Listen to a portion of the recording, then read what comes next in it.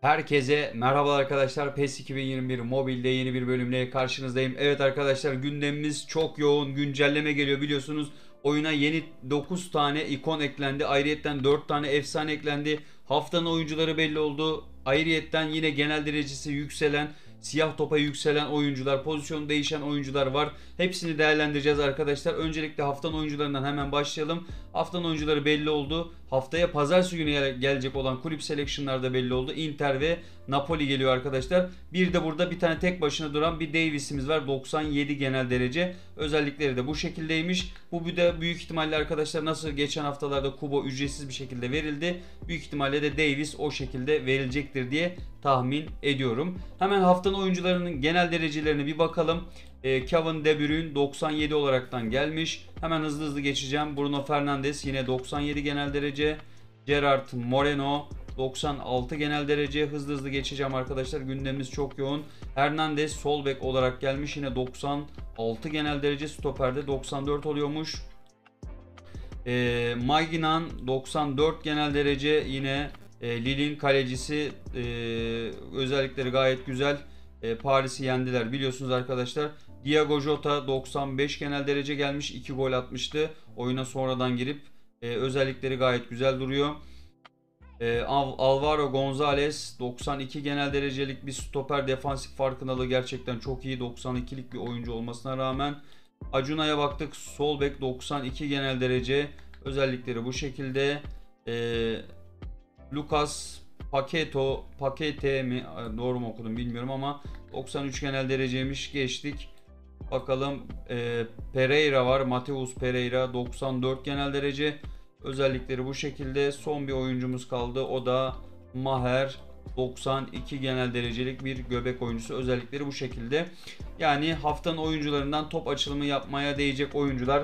Yani Hernandez, Kevin De Bruyne ve Jota için değebilir arkadaşlar. Ee, bunlara değindik. Hemen e, öncelikle ikonlarımızdan başlayalım arkadaşlar. Toplamda 9 tane ikon eklendi. Bir gün öncesinde de videomuzda acaba işte e, Cristiano Ronaldo'nun işte Manchester United'daki veya işte Real Madrid'deki hali gelir mi diye acaba merak ediyordum. Valla Allah mı söyletti bilmiyorum ama Cristiano Ronaldo'nun Real Madrid'de oynadığı dönemdeki ikonu geliyor arkadaşlar. Normal hali 98'miş.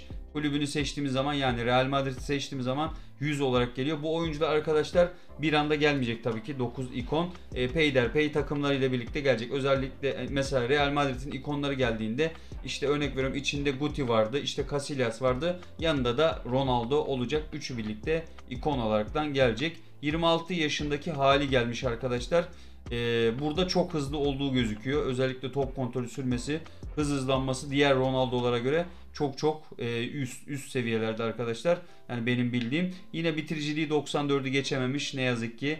Yani Konami'nin bu halini anlamakta gerçekten güçlük çekiyorum. Biraz daha yüksek olabileceğini düşünüyorum. Çünkü tam işte bu balon doğru e, yani peş peşe kazandığı dönemler e, yani 101, 102 falan olabilirdi diye düşünüyorum. Bence biraz düşük olmuş. Sizler de fikirlerinizi yorumlara yazmayı unutmayın. Hemen kola geçtik. Kolda Manchester United'lı oyuncu 96 genel derece normal hali. Kulübünü seçtiğimiz takdirde de 99 oluyormuş. Özelliklerini zaten görüyorsunuz. Hızlı hızlı geçeceğim. York'a geçtik. York 95 genel dereceymiş. Takımını seçtiğimiz zaman 97 oluyor. Yine özellikleri fena değil. Arshavin Arsenal ile birlikte gelecek. 95 genel derece normal hali. Takımını seçtiğimiz zaman da 98 oluyor. Gerçekten muazzam özelliklere sahip oluyor Arshavin'de. Robson 96 genel derece takımını seçtiğimiz zaman 98 oluyor. E, e-futbol puanı ile aldığımız 97 oluyordu. Bu da bir tık genel derece yüksekte 98 oluyor. Aldair yeni bir e, ikon. E, Roma'nın ikonu arkadaşlar bu arada. Normal hali 95. E, kulübümüzü seçtiğimiz zaman 96 oluyor. Özellikleri fena değil. Özellikle defansif farkındalığı falan çok iyi, muhteşem. Hani gelebilecek en yüksek seviyede bir oyuncu zaten diye düşünüyorum. Elver'e baktık 95 genel derece kulübünü seçtiğimiz zaman 97 oluyor. Rosicki yine 95'lik bir oyuncu. Kulübünü seçtiğimiz zaman 97 oluyormuş. Son oyuncumuz Petit.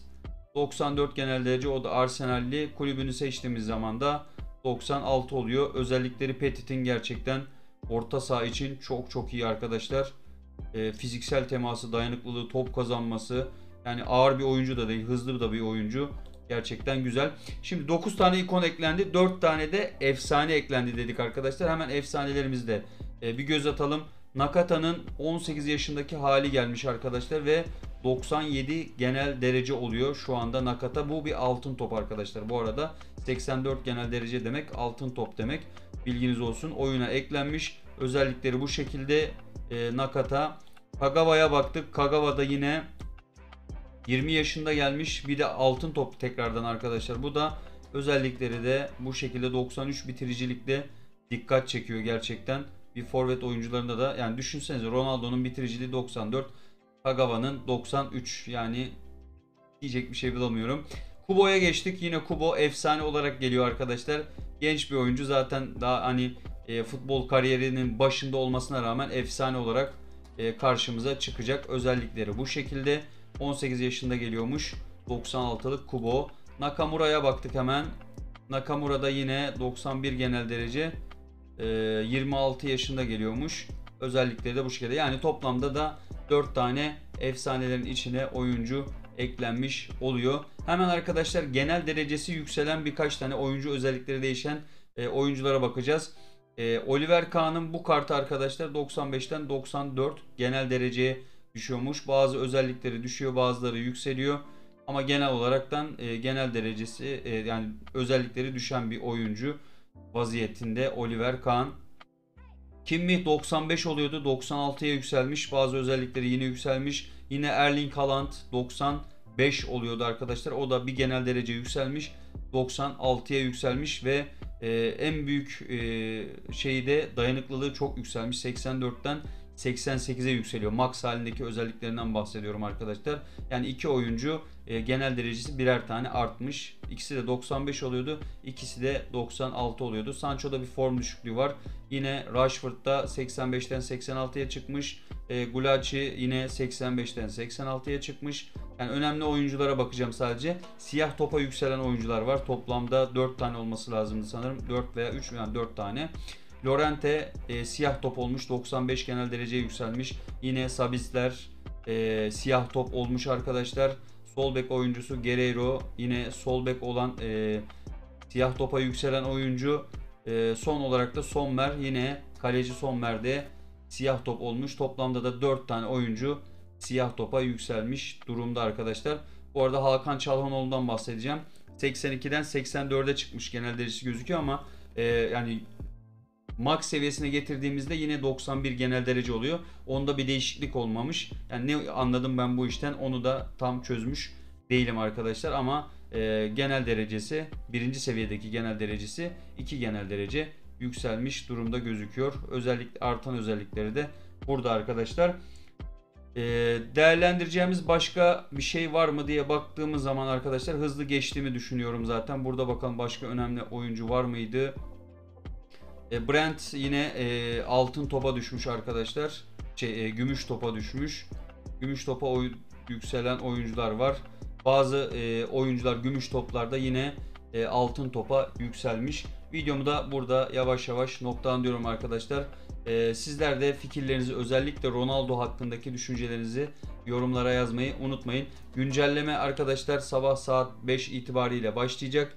E, 11'e kadar sürebilir ama erken de açılabilir. Bilginiz olsun arkadaşlar. E, oyuncular hakkındaki yorumlarınızı e, bekliyorum. Yeni oyuncular gelse güzel olurdu. Gerçekten işte ne bileyim e, bu e, Chelsea'den işte Drogba olsun. Manchester United'dan ben e, bir stoperin yani Ferdinand, Rio Ferdinand veya Vidic'ten birisinin gelmesini beklerdim. Veya işte ne bileyim e, Arsenal'den Thierry Henry olabilir. Yani yeni yüzler görmemiz gerekiyor diye düşünüyorum ama Konami pek oralı değil sanırım şu anda arkadaşlar.